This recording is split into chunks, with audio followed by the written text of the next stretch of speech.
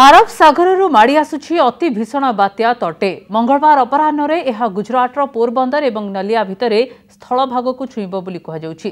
ପାଞ୍ଚଟି ରାଜ୍ୟ କେରଳ କର୍ଣ୍ଣାଟକ ତାମିଲନାଡୁ ଗୁଜରାଟ ଏବଂ ମହାରାଷ୍ଟ୍ର ଉପରେ ଏହାର ପ୍ରଭାବ ପଡ଼ିବା ଆକଳନ କରାଯାଇଛି। ଏହାକୁ ଆଖି ଆଗରେ ରଖି ଆରମ୍ଭ ହୋଇଛି ପ୍ରସ୍ତୁତି। କରୋନା ସଙ୍କଟ ଭିତରେ ବାତ୍ୟା ବିପଦ।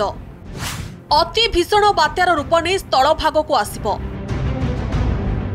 ସାରା ଦେଶ ଯେତେବେଳେ କରୋନାର ଦ୍ୱିତୀୟ ଲହରେ ସାଂଘାତିକ ସ୍ଥିତିକୁ ସାମ୍ନା କରୁଛି ଠିକ୍ ସେତିକିବେଳେ ଆରବ ସାଗରରୁ ମାଡ଼ି ଆସୁଛି ଅତି ଭୀଷଣ ବାତ୍ୟା ତୋଟେ।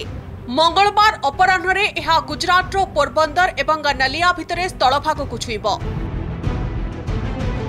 ବାତ୍ୟା ଗତିପଥର ଏହା ହେଉଛି ସାଙ୍କେତିକ ଚିତ୍ର।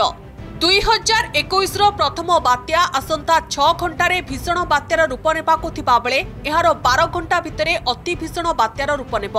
ଏହି ସମୟ ବେଳକୁ ପବନ ବେଗ ଘଣ୍ଟା ପ୍ରତି ଶହେ ପଚାଶରୁ ଶହେ ଷାଠିଏ କିଲୋମିଟର ରହିପାରେ। ପାଞ୍ଚଟି ରାଜ୍ୟ କେରଳ କର୍ଣ୍ଣାଟକ ତାମିଲନାଡୁ ଗୁଜରାଟ ଏବଂ ମହାରାଷ୍ଟ୍ର ଉପରେ ଏହାର ପ୍ରଭାବ ପଡ଼ିବା ନେଇ ଆକଳନ କରାଯାଇଛି। ଏହାକୁ ଆଖି ଆଗରେ ରଖି ଆରମ୍ଭ ହୋଇଛି ପ୍ରସ୍ତୁତି।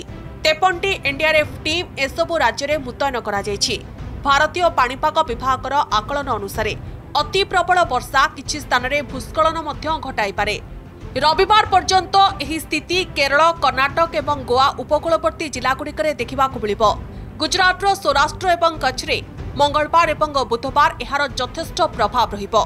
ସେହିଭଳି ଲକ୍ଷଦ୍ୱୀପର ତଳିଆ ଅଞ୍ଚଳ ପାଇଁ ବନ୍ୟା ଆଶଙ୍କା ଥିବାରୁ ଆଲର୍ଟ ଜାରି କରାଯିବା ସହିତ ତାମିଲନାଡୁ ଏବଂ ରାଜସ୍ଥାନରେ ମଧ୍ୟ ବାତ୍ୟା ପ୍ରଭାବରେ ବର୍ଷାର ସତର୍କବାଣୀ ଦିଆଯାଇଛି।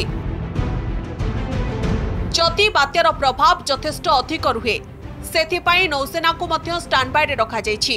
ପ୍ରଧାନମନ୍ତ୍ରୀ ନରେନ୍ଦ୍ର ମୋଦି ସ୍ଥିତିର ଆକଳନ ପାଇଁ ନେଇଛନ୍ତି ଉଚ୍ଚସ୍ତରୀୟ ବୈଠକ। ଜାତୀୟ ବିପର୍ଯ୍ୟୟ ପ୍ରଶମନ ଅଧିକାରୀଙ୍କ ସହିତ ହୋଇଥିବା ବୈଠକରେ ମୁକାବିଲା ପାଇଁ କିଭଳି ପ୍ରସ୍ତୁତି କରାଯାଇଛି ତାର ସମୀକ୍ଷା କରାଯାଇଛି। ସେହିଭଳି ବାତ୍ୟାର ପ୍ରଭାବକୁ ଆଖିରେ ରଖି ଅନେକ ବିମାନ ଉଡ଼ାଣକୁ ବାତିଲ କରାଯାଇଛି। Bureau report connect news.